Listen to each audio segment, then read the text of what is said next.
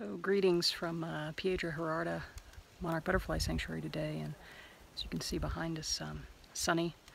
and just an amazing number of butterflies in flight.